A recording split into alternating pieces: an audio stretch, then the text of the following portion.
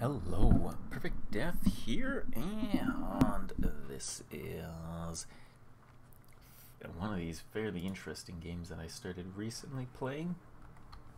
And I think it's War for Elysium 5, and it's this like turn-based strategy kind of game. It's not really too much on the strategy, it's more on the RPG style of it and I'm currently playing as a Cthulhu sort of cult group, and like I've got my cultist guys here. They can use these rituals that you use a sacrifice resource that I can gather up, and like I can contact elder beings or do a ceremony uh, in the deep.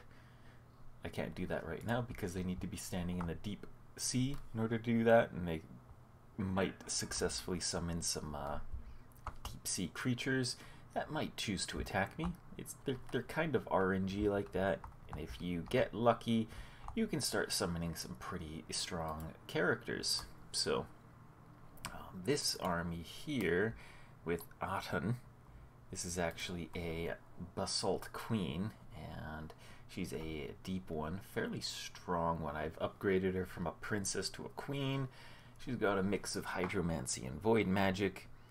And I also gave her some accessories as well inside of her army. There's a king that I just recently summoned and made. So he's currently hasn't had any combat yet. But then I got a Void Lord, which is a really expensive ritual to do and very risky because these things are absolutely crazy strong and if they decide to attack you when you summon them, uh, mm, they'll probably just wipe you out and then run around and wipe out everybody else, which is kind of a meme, I guess. You could you could just have your cultists run out and near the enemy summon one of these things, and then if you fail to summon it, well, then at least it's your enemy's problem and not yours, at least for a while. But these things, you um, they're immortal outside of the void realm, right? So right now they're in Elysium, and so there's there's some planes that they would be able to interact with that they would be immortal to. If they die, they just go back to the void. Um, I've also got this guy here, King in Yellow. Um, he's also very strong guy, his thing seems to be more about summoning, um, but he does have a pretty strong, you know, ability to do void magic there. But the really crazy one is over here. I have I'm fighting the last of the AI factions. Um, one of them got wiped out early on. He was the barbarians. He got killed by some random um, the independent factions, the which are actually quite strong. They're these gray things. Um, they tend to be quite powerful, and he got wiped out by one of them. I killed the Dryad Queen, and this guy killed the Senator. And so he's about to fight this Eldritch Abomination. And there's a good reason why this army has no melee units in the front ranks, right? So these are all ranged units behind him he's considered a front ranker, but he has this death gaze ability that's a wide cone and it just kills everything in front of it. So he's essentially killed off all of his melee units. I I try to like summon or uh, get some cheap guys in the front lines, but eh. He just kept um, killing them within like two battles. He'd wipe out his own melee lines, so uh-huh. This guy, I was thinking about bringing him in, but he's got a bunch of melee units, and I'd rather they not get deleted, so let's go and try out. Okay, he went over there. So I've got one army up in the north fighting an, a bunch of deer. So as the combat goes along, you see those little actions being taken, and you can speed them up. Mm -hmm. Crossbows, they you'll hear them they, every second after they shoot. They have to reload. Um, the farm. There we go. This is the one I wanted to see. So my assassins did their move, and then there's this death ray. He just basically deleted one of the uh, knights in the middle there, and just deleted a bunch of more. He's got a melee attack. He's got four melee attacks, and each of them do life steal. He also has natural HP regeneration. I gave him a accessory that gives him cold immunity and a frost shield, and he's got a ring for giving him extra magic resistance and armor. So this is a tanky boy. Lots of health, regens, life steals. So yeah, you can see the knights are pretty much wiped out right there. My back line of archers is just peppering away at everybody. And eventually, they'll just pick these poor knights apart. This guy, he got paralyzed. Um, oh, and she just, um, the Scarlet Sister did that. I think that was her. Yeah, she did Soul Slay, and that just one-shot him. And there we go, just deleted a bunch more stuff, and then everything around him he just ate. So this thing, I got really lucky that he didn't uh, turn on me because he would have wiped me out and then he would have just proceeded to wipe out everybody else that he could see. And it would have been a, a threat, but he's under my control, so hooray for that, I guess. The guy who leads this army is actually Libar, the captain, and I've been just tossing gear onto him as uh, this Eldritch Abomination murders everything. I get the uh, the magic items from them. And I just toss them onto him. So he's got like a mace of a mace of pain.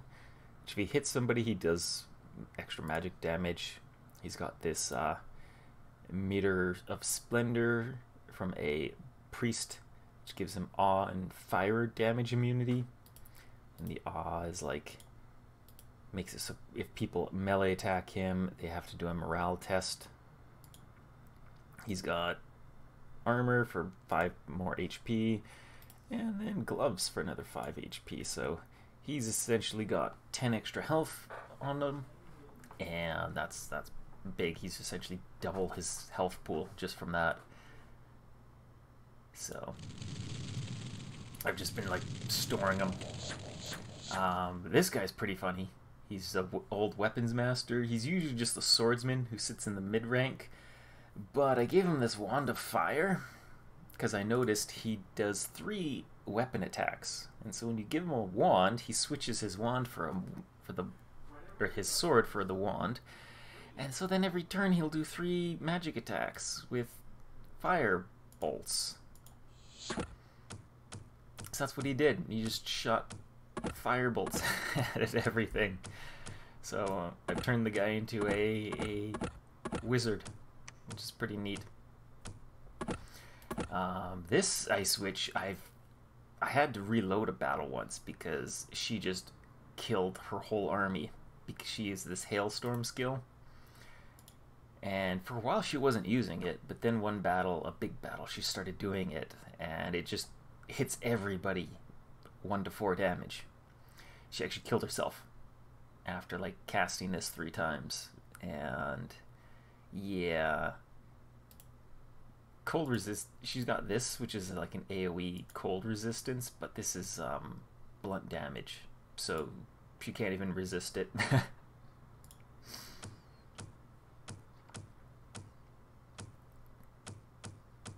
and here we go.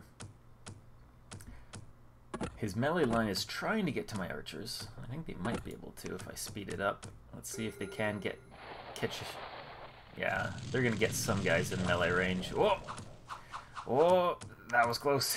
he almost got deleted. Uh, oh wait, what happened to him? So he's poisoned and they net him. okay.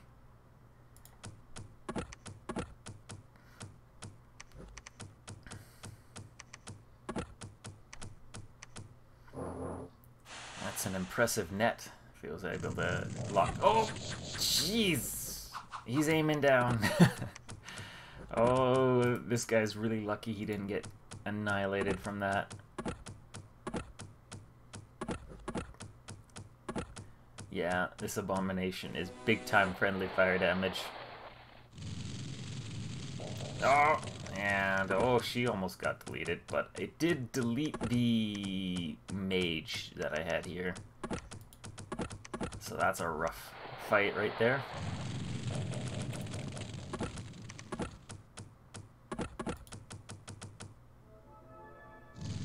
Oh! God, that laser beam.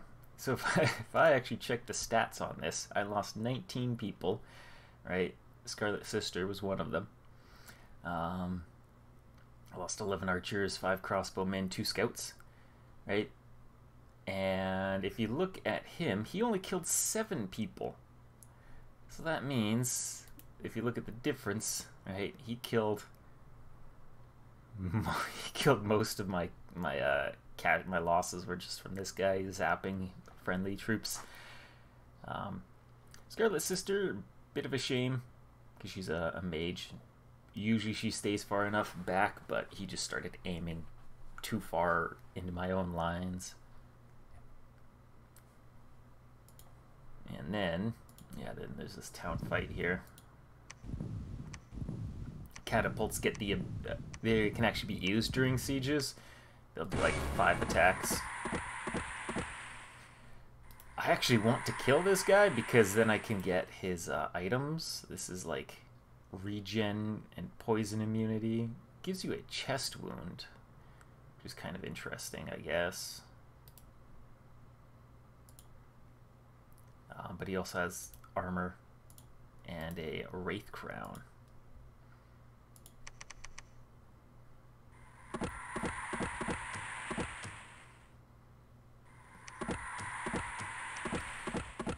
This group has some of these elder things that I summoned and I just kind of tossed them in here because they're slow. And the catapult is slow, so I expect these guys to not survive the fight. Yeah. These things do detonate and self-destruct when they die. But because they're on a wall, it doesn't do too much. But yeah.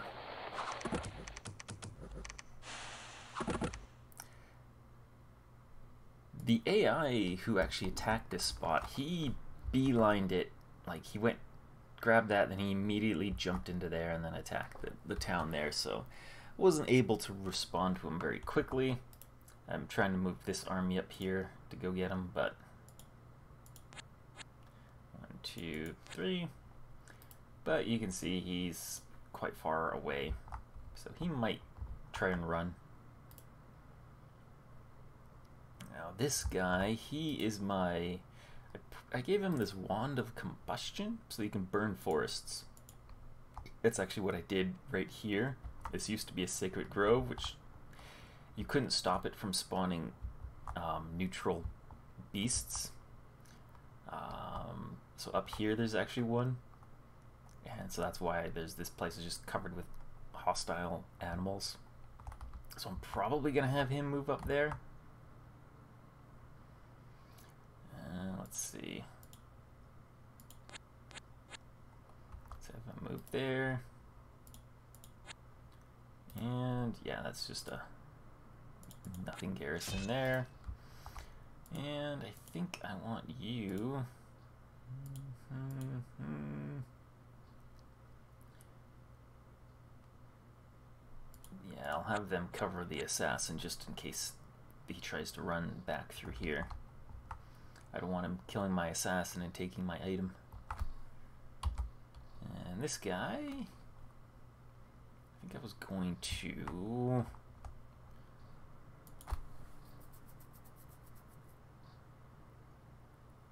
Yeah, I think I was going to have him meet up with this. Maybe. What was he going to do? Oh yeah, I wanted to do some uh, rituals.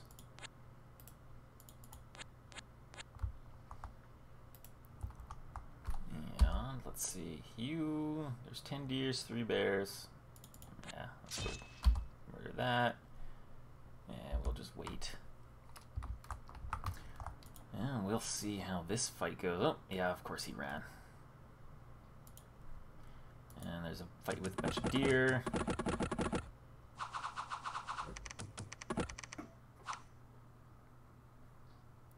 And then the fight in the town. There's a meteor. That meteor missed. His charm failed. Oh, there's another meteor. By the way, this guy's the one who's casting the meteor. But he keeps missing. Oh, I managed to convert two people at the end there. Neat. And I was gonna have these guys go into the water here. And they're, they're gonna try to do some uh, summoning. Let's see. Um, I don't. Yeah, that's good. I want him to keep those guys there. Because this is an amphibian army, so that it can go on into the water. And let's go check that out. Do some scouting. Now this guy ran up there. So one, two, and let's go take that over.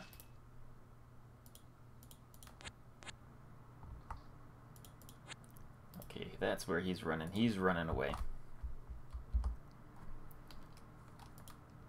One, two, and take that back, and go stand there. So if he does try to go back through the gate, he will run right smack into this horrible army and be murdered. And